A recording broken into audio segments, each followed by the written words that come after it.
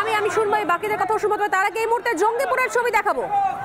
জঙ্গিপুরের পরিস্থিতি উত্তপ্ত চূড়ান্ত গন্ডগোল সেখানে এই মুহূর্তে হতাহতির অবস্থা। পুলিশ গিয়ে পরিস্থিতি নিয়ন্ত্রণের চেষ্টা করছে কি চলছে একবার শুনব।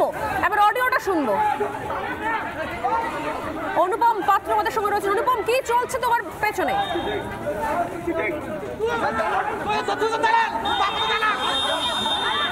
দেখো, মির্জাপুরে রয়েছে এই ন নম্বর, ষোলো নম্বর বুথে আবার উত্তেজনা। এই মুহূর্তে তুমি দেখতে পাচ্ছ, দুপক্ষকে কিছুক্ষণ আগে শান্ত করা গিয়েছিল, কিন্তু আবার আবার গন্ডগোলের পরিস্থিতি তৈরি হচ্ছে। দুপক্ষের মধ্যে ব্যাপক হাতাহাতি, সেই ছবি আমরা দেখিয়েছিলাম। প্রাক্তন তৃণমূল পঞ্চায়েত সদস্য বর্তমান তৃণমূল পঞ্চায়েত সদস্যের মধ্যে হাতাহাতি। যদিও বর্তমান দাবি করছে প্রাক্তনরা এই মুহূর্তে আইএসএফ করছে কিন্তু দুপক্ষের মধ্যে গন্ডগোল হাতাহাতি। তুমি সেই ছবি দেখো সরাসরি সেই ছবি দেখাচ্ছি দুপক্ষের মধ্যে বাক কি বলছেন? কি বলছেন? অনুপম একবার শো- একবার শোনাবার শোনার চেষ্টা করব। পাওয়ারফুল লোক হয়ে গেছি। তুই তো পাওয়ারের লোক হয়ে গেছি বোকা চোদা পাওয়ার দেখাচ্ছে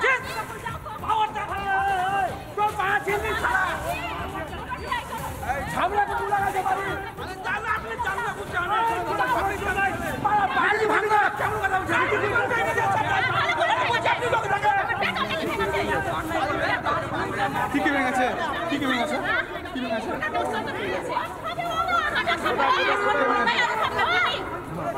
ওটা কে আর কার গাড়ি বাড়ি ভেঙেছে? আমার বাড়ি। আমার আমার আমার আমার বাড়ির ভিতরে।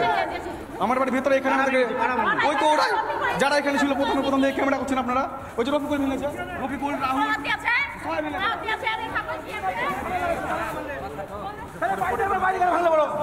পরে হবে।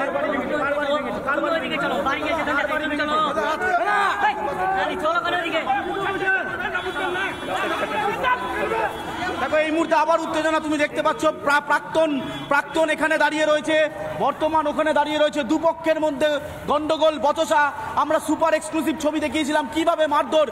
রাস্তার উপরে ষোলো নম্বর বুথ। মির্জাপুর এলাকা জঙ্গিপুর লোকসভা। এই মুহূর্তে যারা বর্তমান তারা অভিযোগ করছে তাদের বাড়ি ভাঙচুর করা হয়েছে।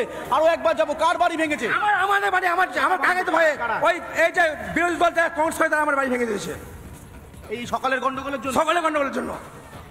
অর্ডার দিয়েছেন রফিকুল অর্ডার দিয়েছেন ফকুল অর্ডার দিয়েছেন আমাদের বাড়ি বাড়িকে ভেঙেছে। এরা তৃণমূল করে দাবি করছে। নাই অসম্ভব আপনি শুনুন না এজেন্ট আছে তো। তৃণমূল সকাল থেকে বলছি বাড়া আপনার কি বুদ্ধি শুদ্ধি কম? শিক্ষিত আপনি? আপনি শিক্ষিত আপনি বলুন। আপনি ওনারা দাবি করছেন। আপনি ওনারা দাবি করছেন ওনারাও তৃণমূল করে। ঝামেলা। হবে কেন প্রুফ দেখান। এভিডেন্স ছাড়া কেন কথা বলছেন। আপনি এভিডেন্স ছাড়া কেন কথা বলছেন। আমাদের তৃণমূল আমাদের হ্যাঁ? আমাদের। আমাদের যে তৃণমূল তৃণমূলের চেয়ার ভাঙলো কেন ওরা? চলুন ওখানে চলুন। মুহূর্তে দুপক্ষের মধ্যে অশান্তি দফায় দফায় গন্ডগোল তুমি দেখতে পাচ্ছ এলাকায় পুলিশ একদম। নিয়ন্ত্রণ করার চেষ্টা আরও একবার জানার চেষ্টা করব যে দুপক্ষই দুপক্ষই কি তৃণমূল কংগ্রেসের? দুপক্ষই তৃণমূল কংগ্রেসের? তাদের অ্যাকচুয়ালি অভিযোগটা কি এক পক্ষের অন্য পক্ষের বিরুদ্ধে? অভিযোগটা কি? একদমই তাই একদমই তাই যদিও বর্তমান মানতে রাজি নয়। যদিও বর্তমান মানতে রাজি নয়। বর্তমান এই বিষয়টা মানতে রাজি নয়। বর্তমান যারা তৃণমূল করেন, তারা বলছেন প্রাক্তনরা আইএসএফ কংগ্রেসের সাথে যুক্ত রয়েছে। বারবার কিন্তু প্রাক্তন যারা, তাদের সাথে আমরা কথা বলেছি, তারাও দাবি করছে, তারাও তৃণমূল করে। এই মুহূর্তে এই হাতাহাতির পরিস্থিতি, এখানে ফোর্স নামানোর পরেও এলাকা কোনোভাবেই ঠান্ডা করা যাচ্ছে না। মির্জাপুরের ঘটনার ছবি দেখাচ্ছি। মির্জাপুর এলাকার ছবি দেখাচ্ছি। ন নম্বর, ষোলো নম্বর বুথ ষোলো নম্বর বুথে সেই ছবি তুমি দেখছ। খোজারপাড়া খোজারপাড়া বাস স্ট্যান্ডের কাছের এই গণ্ডগোলের ছবি। দফায় দফায় গণ্ডগোল হচ্ছে। কোনোভাবেই নিয়ন্ত্রণ করা যাচ্ছে না। পুলিশ এখানে রয়েছে কিন্তু তারপরও পরিস্থিতি পরিস্থিতির দিকে নজর রাখো অনুপম আমি আবারও এই খবরে নজর রাখব। সময় একটা বিরতি এই মুহূর্তে সরাসরি মির্জাপুরের ঘোজাডাঙ্গা বাস স্ট্যান্ডের সামনের ছবি দেখছেন নব্য তৃণমূল আদি তৃণমূল দুপক্ষের সংঘর্ষ। সকাল থেকে চলছে দফায় দফায় পরিস্থিতি উত্তপ্ত হচ্ছে। পুলিশ ঘটনাস্থলে রয়েছে কিন্তু এখনও পরিস্থিতি নিয়ন্ত্রণের বাইরে। সমস্ত আপডেট নিয়ে ফিরে আসছি। চনপুরে সিপিএম এজেন্টকে মারধরের অভিযোগ উঠল। মারধরের অভিযোগ তৃণমূল কংগ্রেসের বিরুদ্ধে। ভয় কলাবাগানে আশ্রয় নিয়েছেন সিপিএম এজেন্ট। কলাবাগান থেকে এই মুহূর্তে visual first on exclusive visual কলাবাগানে লুকিয়ে রয়েছে সিপিএম এজেন্ট। সিপিএম এজেন্টকে ব্যাপক মারধর করা হয় লোচনপুরে। বুথ ছেড়ে এই মুহূর্তে কলাবাগানের মধ্যে সিপিএম এর এজেন্ট। আমাদের প্রতিনিধি আমাদের সঙ্গে রয়েছেন পিঙ্কি। পিঙ্কি, কি অবস্থা? কি এমন ঘটেছে? কলাবাগানের মধ্যে আশ্রয় নিয়েছেন সিপিএম এর এজেন্ট।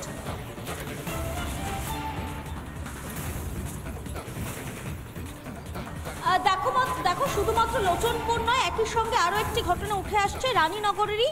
রানীনগরের মরিচা নিচুপাড়া। সেখানেও দেখা গিয়েছে বামেদের যে এজেন্ট, সেই এজেন্ট কিন্তু মূলত দাঁড়িয়ে রয়েছে কলা বাগান এবং বিভিন্ন যে আম বাগান রয়েছে, সেই বাগানে গিয়ে তার ভেতরে লুকিয়ে রয়েছে এমন কিন্তু ছবি এই মুহূর্তে এসে পৌঁছচ্ছে। এবং কিছুক্ষণ আগেই সেখানে মোহাম্মদ সেলিম গিয়েছিলেন। সেখানে গিয়ে যে বাম প্রার্থী রয়েছেন, তিনি যান। সেখানে গিয়ে সেই এজেন্টের সঙ্গে কথা বলতে চান এবং তোমাকে জানিয়ে দিই যে দুটি জায়গা থেকে আমরা এই খবর এই মুহূর্তে পাচ্ছি। রানীনগর রানীনগর বিধানসভা কেন্দ্র যেটা মুর্শিদাবাদ লোকসভা কেন্দ্রের মধ্যে পড়ছে। সেখানের একটি জায়গা হচ্ছে এই লোচনপুর এবং আরও একটি জায়গা হচ্ছে রানীনগরের মরিচা নিচুপাড়া। এই দুটো জায়গারই একই ঘটনা। বাম এজেন্ট কার্যত কিন্তু কার্যত লুকিয়ে বসে রয়েছে আম বাগানের মধ্যে এবং একটি কলা বাগানের মধ্যে। এমন ছবি কিন্তু এই মুহূর্তে এসে পৌঁছেছে স্বর্ণালী।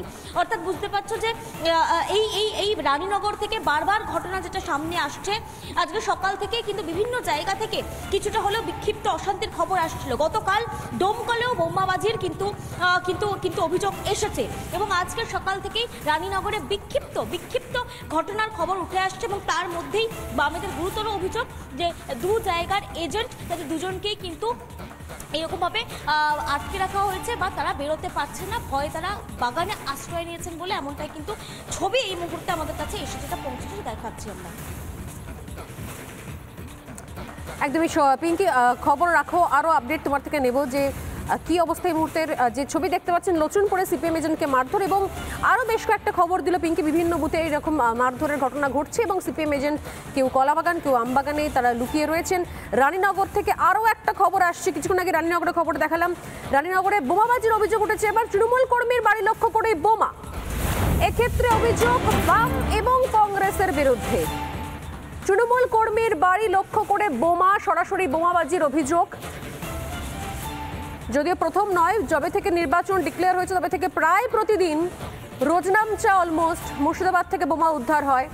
এবার যে খবর পাচ্ছি আমরা, রানীনগরে তৃণমূল কর্মীর বাড়ি লক্ষ্য করে বোমাবাজির অভিযোগ উঠল। এক্ষেত্রে অভিযোগ বাম এবং কংগ্রেসের বিরুদ্ধে। সেই ছবি ফার্স্ট অ্যান্ড এক্সক্লুসিভ দেখতে পাচ্ছি। কথা বলার চেষ্টা করব, তবে তার আগে আমি একবার ফিরে আসব স্টুডিওতে। একের পর এক অভিযোগ রয়েছে। এই মুহূর্তে আমার সঙ্গে রয়েছেন সৌরপ্রিয় দত্ত, শঙ্কদেব পণ্ডা এবং সুকান্ত ঘোষ। আমি এক এক করে আসব। শঙ্কদেব, কিছুক্ষণ আগে আপনি বলছিলেন যে আপনাদের এন্ড থেকেও আরও একটা আপডেট রয়েছে যে অভিযোগ ধনঞ্জয় ঘোষ করছেন সেক্ষেত্রে। এই ধনঞ্জয় ঘোষের ঘটনায় আমরা দেখলেন যে প্রার্থীকে কীভাবে আক্রমণ করা হয়েছে, কীভাবে বুথ লুটের চেষ্টা হচ্ছিল।